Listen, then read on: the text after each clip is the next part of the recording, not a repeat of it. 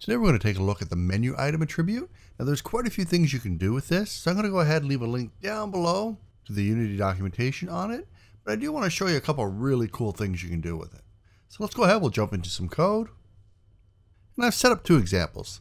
Now the first thing to note is that menu item does require the Unity editor namespace, and it only works on static methods.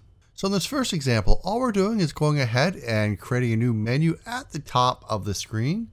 And I'm just going to call it BZA. There's going to be a submenu. And inside that submenu, I'm going to go ahead and put this entry into it. And I'm also adding a hotkey to it. Now hotkeys are covered on the documentation page, which I will be linking to. But for this particular hotkey, we have Shift, then Control or Command, depending on what operating system we're on, and W. So instead of going to the menu system, I can use the hotkey.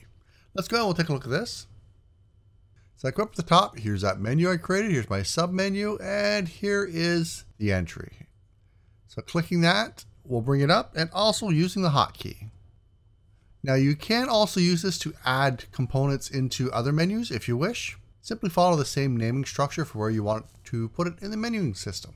Now one of the other things you can do with the menu item is go ahead and actually add components into the context menu for well, basically all the components that Unity has access to.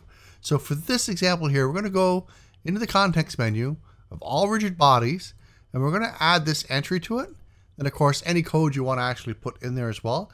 In this case, I'm just going to debug log out the name of the object. So let's go ahead, we'll jump in. We'll select an item with a rigid body. We'll go ahead and we'll take a look. And here it is. Of course, if we click it, we get told that the method was called on the cube. Now take note that it's not attached to this in any way. It's, it just shows up in all the rigid body menus. So if we actually went ahead and created another object here, let's go ahead, we'll create a, oh, let's do a capsule. We'll add a rigid body to it. And in its context menu, there we go.